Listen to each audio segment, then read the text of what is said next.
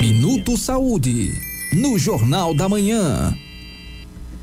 Olá pessoal, meu nome é Valquíria Fernandes. Olá, eu sou pessoal, meu nome é Valquíria Fernandes, eu sou fisioterapeuta e eu vou estar respondendo algumas dúvidas incomuns para vocês aqui agora, beleza? Dúvida número 1, um, vamos lá. Como saber se as dores que eu estou sentindo é dengue, zika ou chikungunya? Vamos lá. Dengue, geralmente o paciente tem uma febre mais alta, acima de 38 graus esse paciente vai, vai ter essa febre, uma febre mais alta. O paciente tem dores no corpo, o paciente muitas vezes tem vômito, o paciente tem fraqueza, ele pode ter uma dor no fundo do olho, atrás do olho. Isso é muito característico da dengue, geralmente de 5 a 7 dias esse paciente acaba melhorando. Um paciente com chikungunya é muito característico a dor e o inchaço nas articulações. Pode ser em qualquer articulação, mas na periferia acaba sendo muito mais comum. Então, mãos e pés, tornozelos, punhos, é muito mais comum é, essa característica. E a zika, esse paciente muitas vezes ele tem uma febre mais baixa, né? Uma febre mais leve, ele tem dores no corpo também, muitas vezes na musculatura ou na articulação. Então, esse é o, o mais clássico aí para a gente estar tá diferenciando esses sintomas aí, essas patologias. Pergunta número 2. O que fazer para passar as dores da chikungunya?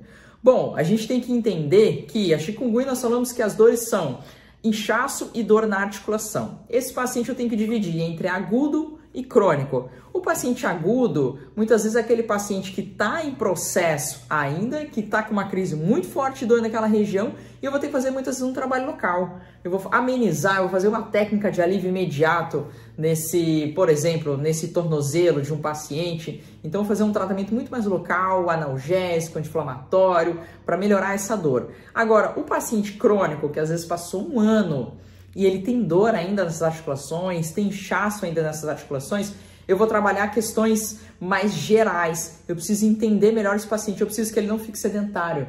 Então tenho que estimular esse paciente a sair do sedentarismo e começar a fazer exercício com frequência. Isso vai modular melhor a parte fisiológica do corpo dele, a parte hormonal do corpo dele. Isso é muito importante para a gente trabalhar essas dores crônicas. Então, o paciente crônico, ele precisa sim de um acompanhamento, muitas vezes de um fisioterapeuta, de um médico, de um profissional da, da educação física, para realmente estar dando amparo para esse paciente, porque ele vai precisar sair dessa zona de conforto, sair desse momento sedentarismo que ele tá, porque ele teve uma dor no passado, mas se ele não conseguir sair disso daí, dificilmente ele consegue ficar melhor dessas dores.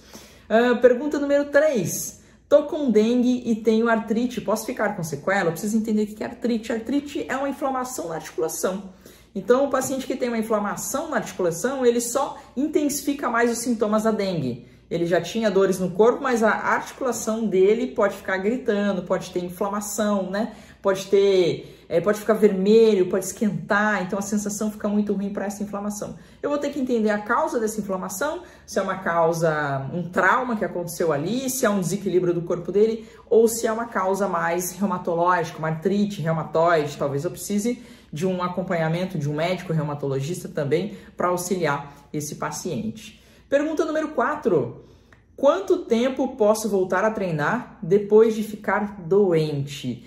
Isso é muito relativo, mas digamos assim, o mais rápido possível. A partir do momento que o teu corpo já está normalizado, você não sente mais as dores no corpo, você não tem mais febre. Gente não pode fazer exercício com exercício físico com febre. Então não tem mais febre, você está se sentindo normal, talvez você esteja se sentindo um pouco mais fraco com o condicionado que você era antes, aí você passa uma semana doente, você fala, nossa, perdi meu condicionamento físico, mas isso é normal. Então eu tenho que comparar com a semana que eu estava doente, qual era a dor, calafrio, enfim, o que eu estava sentindo, mas de preferência voltar a fazer exercício o mais rápido possível, lógico, em cargas progressivas. Muitas vezes, se eu sou uma pessoa que corro 10 quilômetros e eu fiquei doente, então eu não vou logo voltar a correr 10 quilômetros, eu vou voltar a correr 5 ou até menos e eu vou sentir qual a resposta do meu corpo em relação a isso. E aí eu vou aumentando progressivamente, beleza? Gente, espero ter ajudado vocês com essas dúvidas frequentes em relação Zika, dengue, chikungunya e estou à disposição aí para mais dúvidas de vocês.